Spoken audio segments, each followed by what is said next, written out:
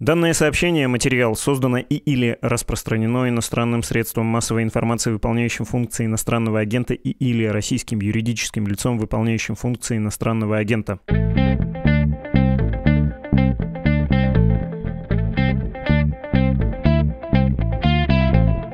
Здравствуйте, вы слушаете подкаст «Что случилось?». Здесь мы обсуждаем новостные сюжеты, которые долго остаются важными. Меня зовут Владислав Горин и спешу представить Дмитрий Кузнец, редактор отдела «Разбор». Привет, Дима. Привет. Бывали дни и выпуски этого подкаста, когда что-то неясное происходило на фронте, и благодаря тебе мы эту неясность развеивали. Нынче хочется поговорить о довольно прозрачном, ясном сюжете отступления российских сил и их прокси, наступлении украинских сил. Но все-таки давай я попробую краткое содержание выпуска наметить в самом начале нашего разговора. Я бы сказал, что есть несколько вопросов, которые хочется тебе задать, несколько больших вопросов. Первый, что там все-таки все-таки произошло, каков масштаб произошедшего. Второй, как ответит Россия удар по критической инфраструктуре Украины, который мы недавно наблюдали с отключением тепла, света. Все это, если честно, выглядит э, тем, что по-русски принято называть бессильной злобой. Третий вопрос. Что там с новыми резервами у России? Сможет ли Россия нанести контрудар Украине, снова занять Балаклею, Изюм, Купянск и другие солнечные, как говорил генерал Лебедь про Ханкалу, города? Или все силы исчерпаны? И последний вопрос я бы сформулировал примерно так. Кажется важным поговорить про удары по тылам российской армии, тем более, что речь идет о коренной России сейчас все большей степени, про Белгород, например, ну и про Крымский полуостров тоже. Что я упускаю, перечисляя вот эти пункты? Какой тебе кажется пункт важным добавить? Ну, давай пока пойдем по порядку. Если возникнут какие-то вопросы дополнительные, мы обязательно их обсудим. Хорошо, тогда, собственно, пункт номер один. Что произошло с украинской армией и с российскими, пророссийскими силами? Как ВСУ удалось нанести удар и, а, заставить российские силы оставить целый ряд населенных пунктов, б, вызвать психологический эффект, благоприятный для себя и неблагоприятный для Москвы. Все-таки во многом это было неожиданным, хотя много раз мы говорили, что это возможно. На самом деле, мы чаще говорили, что украинская армия не показала с начала войны способности проводить наступательные операции. Именно операции, то есть не контратаки какие-то локальные, тактические, а именно крупные наступательные операции. Вот теперь мы знаем, что украинская армия на это способна, и украинский генштаб способен их планировать. Это была хорошо спланированная, хорошо проведенная наступательная операция в масштабах целого оперативного направления. Это была операция на окружение крупной группировки российских войск, которая находилась в районе Изюма и южнее Изюма на другом берегу реки Северский Донец. Там был большой плацдарм, с которого российская армия, начиная с марта, пыталась вести наступление в сторону Славянска и Краматорска, то есть с севера наступала на Донбасс. Теперь, по результатам этой операции, у России нет возможности с севера наступать на Донбасс. То есть, если Российское Министерство обороны говорит, что это была перегруппировка для того, чтобы лучше наступать на Донбасс, можно сказать абсолютно точно, что в результате этой перегруппировки наступление на Донбасс осложнится. У российской армии стало меньше возможностей для того, чтобы Донбасс захватить.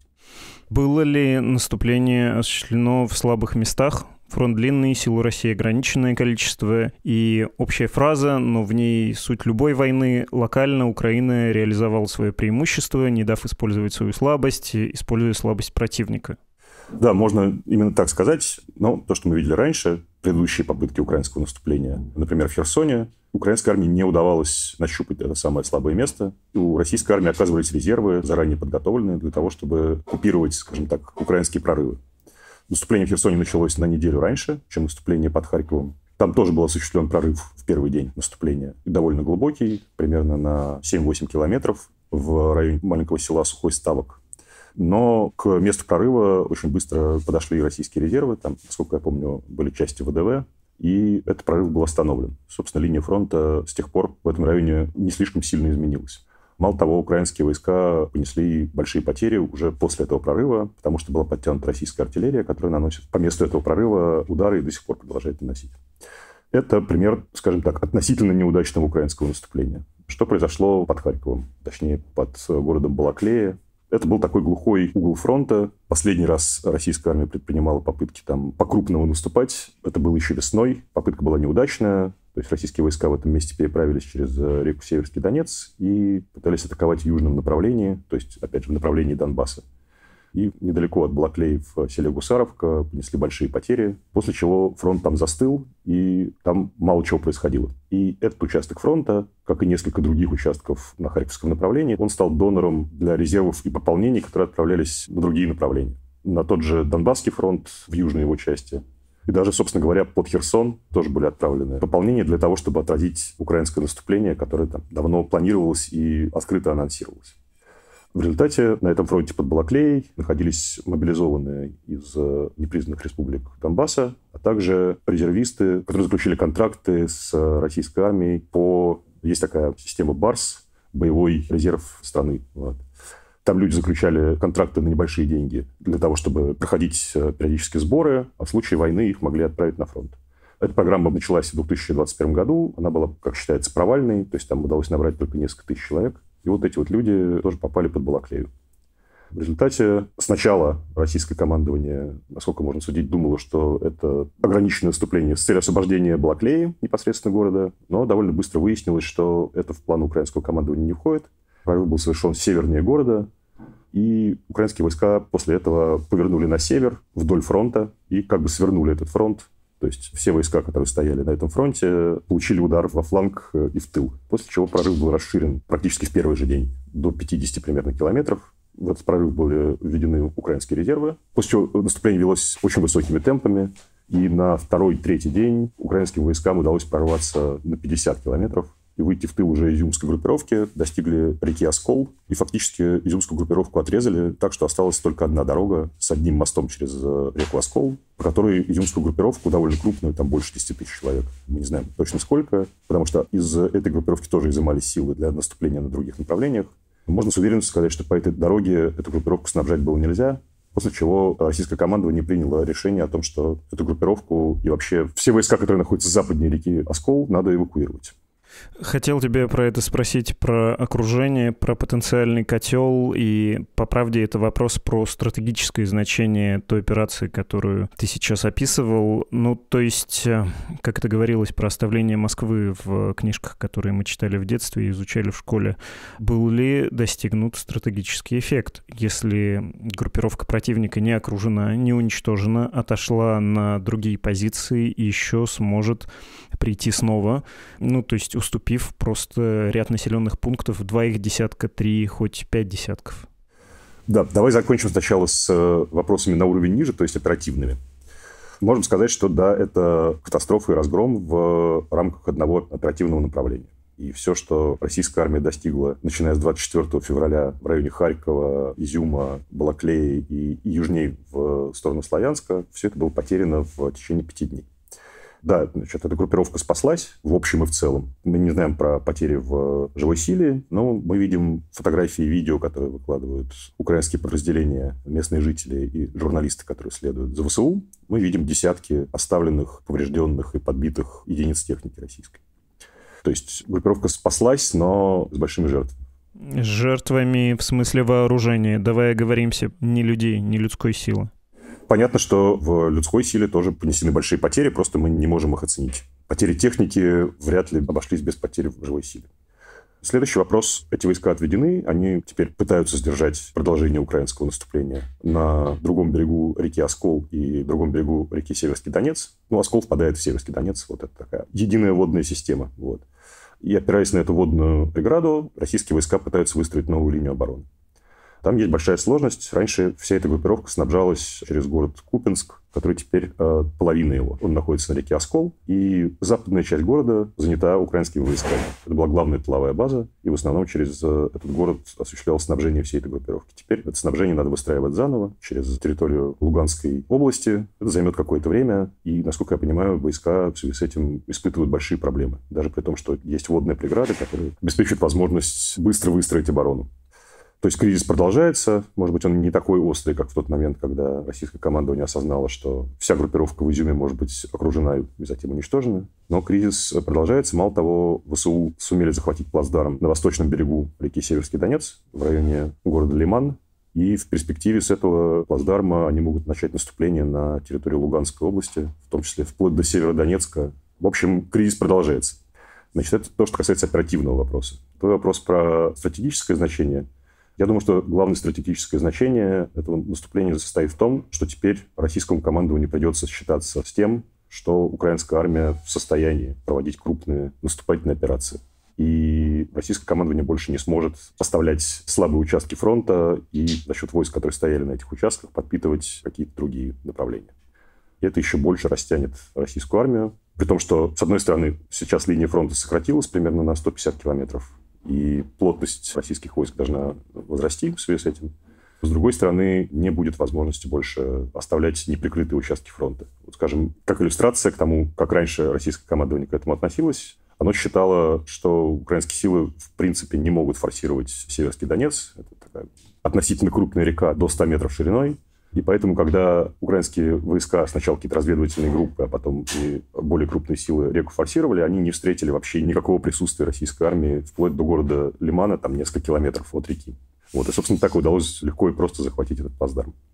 Теперь такой возможности у российского командования не будет в принципе, и ему придется считаться с тем, что украинское наступление возможно на любом участке, и все направления должны быть прикрыты, и на всех направлениях должен быть создан резерв для того, чтобы купировать прорывы, и это принципиально меняет ситуацию для российской армии.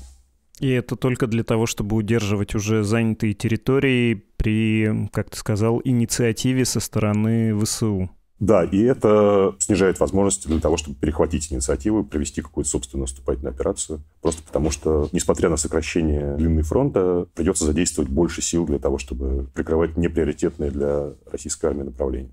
Есть у меня два вопроса по поводу случившегося. Давай начну с менее глобального, что ли. В обратную сторону это может работать? Может э, такую же уязвимость найти в украинской обороне, в украинских позициях России и совершить свой прорыв, перейти в наступление и занять позиции? Цитирую одного человека, который, в общем, является одним из самых громких, ярких лиц этой войны, Рамзан Кадырова, который регулярно с самого начала выступал с истребинными заявлениями, мол, мы в Изюм, Купянск и Балаклею вернемся, а еще и в Одессе окажемся. То есть э, работает ли это в обратную сторону? Ну, потому что российская армия тоже, наверное, не разгромлена, не обвалился, и никто не бежит до границ. Ну, кстати, до границы на Харьковском направлении такие убежали. Эвакуировали в том числе кусок фронта, который находился непосредственно к северу от Харькова, и там отошли до границы Белгородской области. Что можно сказать про заявление Рамзана Кадырова? Что на названных им направлениях вряд ли сейчас возможно в ближайшие месяцы российское наступление. Как я уже сказал, под Харьковом и вообще в северо-восточной части Украины задача перед российской армией стоит простая. Надо удержать этот фронт по реке Оскол, реке Северский Донец, и не допустить э, развития этого кризиса дальше. Иначе российская армия рискует потерять значительную часть Луганской области. Это что касается Харьковского направления.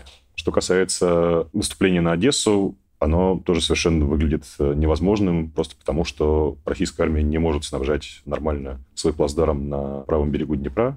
Мало того, по-прежнему, несмотря на то, что украинское наступление не очень удачным получилось, и этот прорыв, который удался в первые дни наступления, не удалось развить и расширить, но при этом по-прежнему российская группировка в районе Херсона находится в кризисе. В основном это кризис снабжения. Мосты через Днепр нормально не функционируют. Паромные переправы, которыми российское командование пыталось заместить эти мосты для снабжения группировки, тоже подвергаются ударам. То есть в долгосрочной перспективе весь этот плацдарм кажется безнадежным и необороняемым но по политическим причинам оставить его намного сложнее, чем населенные пункты Харьковской области. Херсон — это единственный областной центр украинский, который российская армия смогла захватить, начиная с 24 февраля. Если говорить вообще, в принципе, про какое-то крупное наступление российской армии, оно, безусловно, возможно. Мы знаем, что резервы готовились, по крайней мере, начиная с мая. Эти резервы пока не попали на фронт, то есть мы их не видели. Мы не знаем их ни качества, ни количества. Есть какие-то оценки про 15 тысяч военнослужащих хорошо вооруженных и прошедших подготовку так называемые добровольцы, те, которые нанимаются на огромные по российским меркам деньги и заключают краткосрочный контракт. Есть оценки 15 тысяч, есть больше. То есть резервы, в принципе, существуют. Как я уже сказал, мы не знаем ни качества, ни количества достоверно. Но для того, чтобы Россия могла проводить крупные наступательные операции, ей нужно сменить и тактику, и стратегию. Нужно концентрировать войска, собственно, как это сделали в ВСУ в районе Балаклеи, на каком-то участке фронта перспективном, нужно перестать проводить многонедельную артиллерийскую подготовку, потому что таким образом российская армия снижает собственные потери, поскольку испытывает большой недостаток пехоты за счет большого расхода боеприпасов артиллерии, пытается снизить свои потери при наступлении, но таким образом российская армия обозначает место наступления, и украинское командование успевает перебросить туда резервы, и видим то, что мы видели все последние месяцы. Это продвижение на сотни метров в день, в лучшем случае на пару сотен метров. Медленное выдавливание украинских войск. Если российская армия продолжит наступать в том же духе, ну, во-первых, это нельзя назвать э, нормальной наступательной операцией, а во-вторых, в таких наступлениях просто будут израсходованы те самые резервы, которые создавались. Если российское командование в состоянии поменять этот подход и использовать резервы для глубоких прорывов, для сокрушения украинской обороны на каком-то из направлений, пока кажется, что это невозможно. Но раньше нам казалось невозможным и крупное успешное наступление ВСУ про значение того, что случилось, и про возможный ответ, про сценарий в самом общем виде ты сказал. Я хочу задать тебе очень глобальный вопрос, отчасти перекликающийся с тем, что ты сейчас говорил, про изменение тактики.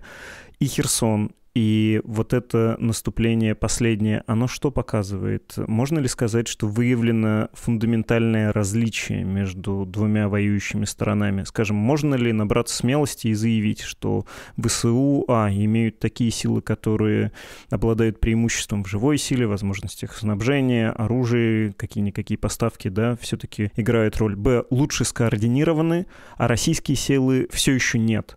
Ну, то есть на стороне ВСУ в первую очередь тактика, да, скоординированность действий, неожиданность и умение врага, что ли, удивить, застать врасплох и воспользоваться его слабостью. А вот Россия так не может и, может быть, не научится до конца войны, несмотря на потери.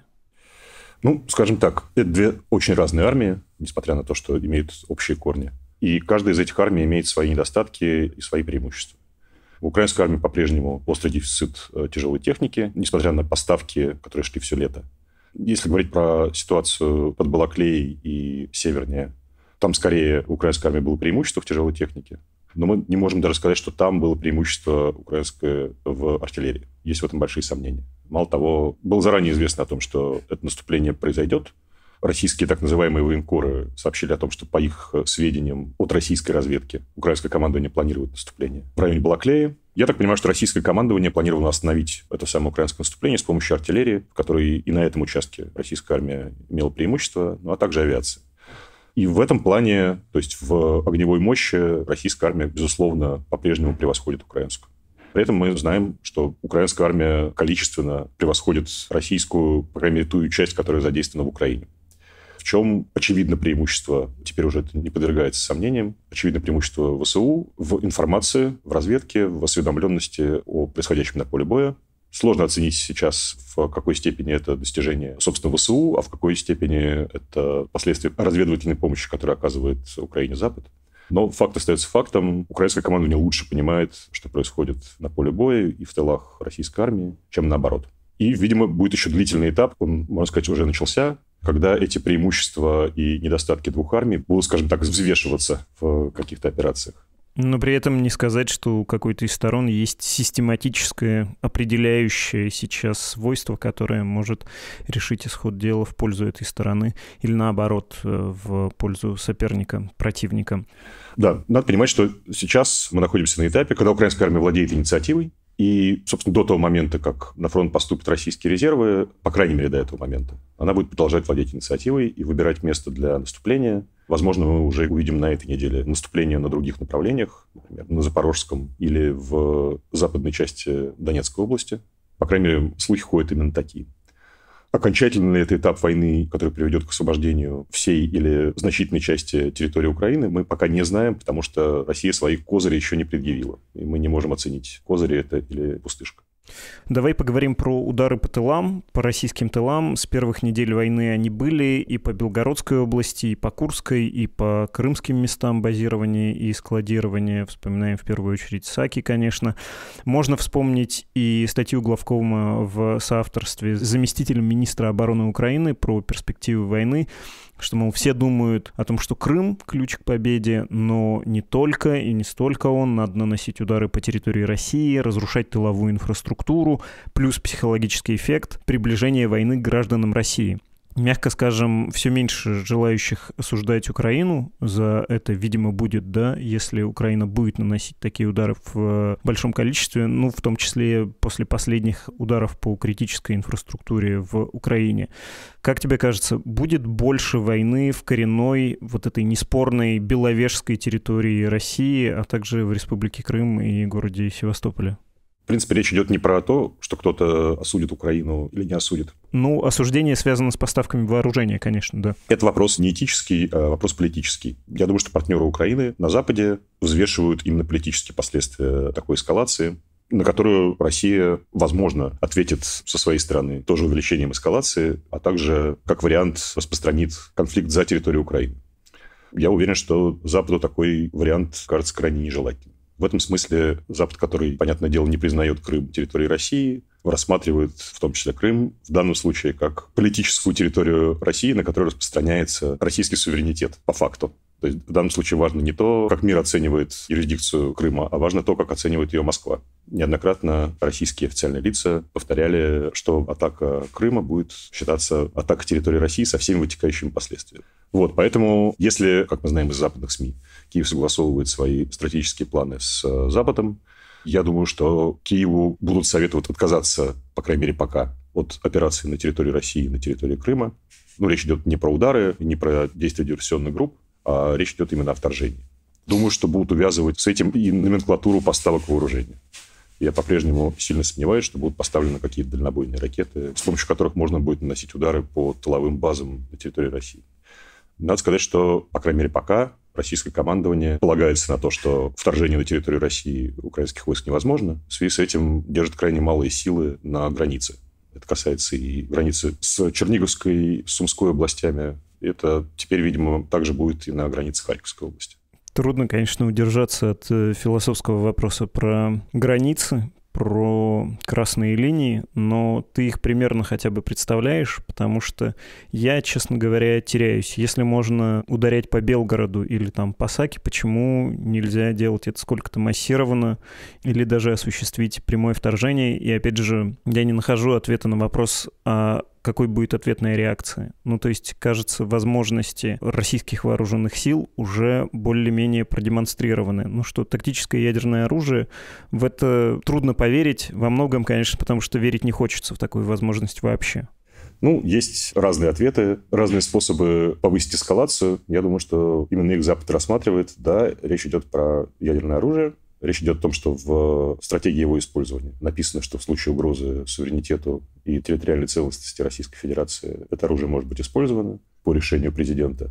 Второй вариант – это объявление мобилизации, которое будет обосновано тем, что на территорию России напали. Возможно, будут какие-то попытки задействовать механизмы ОДКБ и потребовать, чтобы предоставили войска союзники России. Ну, пока, конечно, довольно тяжело себе представить, что какие-то войска будут получены, но тем не менее. Речь идет про объявление войны формально. И это тот уровень эскалации, который никого не устраивает. Вряд ли он устраивает и Кремль, но проблема с этими красными линиями, она заключается в том, что невозможно знать, где они начерчены, пока не проверишь. Можно только догадываться и, исходя из этих догадок, строить стратегию. То, что мы видели до сих пор, все-таки никто за пределами Украины, да, сложно сказать, заинтересован ли Украина в этом во вторжении в Белгородскую область, например. Вот никто не заинтересован в том, чтобы конфликт вышел за пределы Украины, и никто не заинтересован в том, чтобы спираль эскалации продолжала раскручиваться. Понятно. Спасибо тебе большое, Дим. Спасибо. Это был Дмитрий Кузнец, редактор рубрики «Разбор Медузы».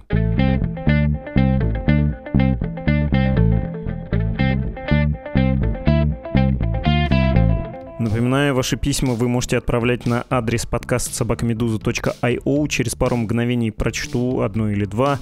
Но до того хочу напомнить о том, что вы можете поддержать Медузу финансово, то есть дать нам денег на нашу работу. Сделать это легко при помощи страничек support.meduza.io и save.meduza.io. Так, открываю ящик вот прям при вас. Доброго дня, слушаю выпуски «Что случилось?» с удовольствием. Спасибо за оперативное и качественное освещение интересных тем. У меня появилось странное ощущение, что из всех стран, что я вижу в новостной повестке, я согласен больше всего с США. Первое. Они не поддержали идею воевать со всем обществом русских, когда в Европе шел разгар обсуждения запрета виз в ЕС для россиян. Второе. Заявили, что окончательно приняли решение не объявлять Россию государством-спонсором терроризма. Третье. От нефти они не зависят, как Европа, но они пытаются влиять на другие государства, и, судя по всему, получается. Пример с Индией. Четвертый пункт. Они поставляют очень много оружия Украине. Пятое. Специалисты по безопасности помогают в кибервойне. Наблюдая за всем этим, для меня их позиция формулируется как эффективная помощь Украине без дополнительных громких заявлений и ограничений. Для меня странно то, что я не наблюдаю ни одно другое государство, которое вело бы себя даже близко похожим образом. Может, это только так кажется, но факт в том, что по первым двум пунктам они явно не согласны с европейской частью НАТО, и это не говоря об их усилиях предупредить всех о войне. Почему так? С уважением, Дмитрий. Дмитрий, видимо, могут себе позволить, видимо, считают, что так они эффективнее выполняют свою роль мирового жандарма, как это говорится в официальных российских медиа. Ну и что уж там, мне тоже, конечно, очень симпатична их избирательность в применении ограничительных мер, не охальные и не оскорбительные воздействия на всех людей с российским паспортом, которые часто не столько эффективны, сколько символически унизительны и вряд ли способны привести к чему-то хорошему в будущем. Давайте попробую успеть прочитать второе письмо от Натали. За прошедшие полгода мне приходилось общаться с людьми очень разных специальностей, и процентов 90 из них говорили о том, как изменилась их привычная работа. Чья-то международная компания ушла из России, у кого-то возникли сложности с закупками и логистическими цепочками. Я встречал тех, кто уволился по моральным соображениям, чтобы не быть причастным к войне, но и тех, чья провоенная позиция была очевидна заранее, например, по зеткам на аватарках в WhatsApp встречал тоже. Вторых, мне каждый раз очень хочется встряхнуть и спросить, вы разве не видите причинно-следственной связи? Ну, это, во-первых, противоречит деловой этике, во-вторых, небезопасно для меня. Учусь обходить острые углы, хотя иногда и противно становится от собственного молчания. А недавно мы принимали на работу молодого человека из Мариуполя. Ох, сколько вопросов мне хотелось ему задать, но побоялась задеть какую-то психотравму и не стала. Но он заговорил сам и, похоже, очень сильно задел мою.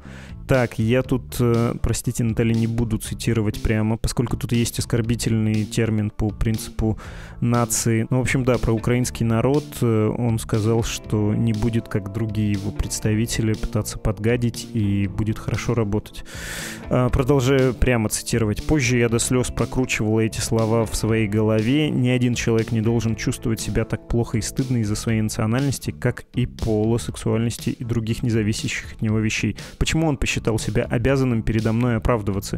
Пишу это сейчас и понимаю, что сама в поездках по Европе всегда стесняюсь того, что приехала из России, старалась везде говорить по-английски, хотя в Литве, Латвии и даже Чехии местные иногда с легкостью сами переходили со мной на русский. Конец цитаты Натали. Могу только выразить вам сочувствие и сам, конечно, тоже ловлю себя на некоторой неоднозначности о том, что я не ожидаю ничего хорошего, когда говорю, откуда я, если приходится за границей с кем-то разговаривать. Спасибо всем, кто поделился своими чувствами. Обещаю письма, которые пришли в большом количестве, понемножечку разобрать. Все прочитать, в том числе в выпуске, чтобы и другие слушатели о ваших чувствах узнали, ну и, конечно, поддержали вас. И да, это был подкаст «Что случилось?», посвященный новостям, которые долго остаются важными. До завтра.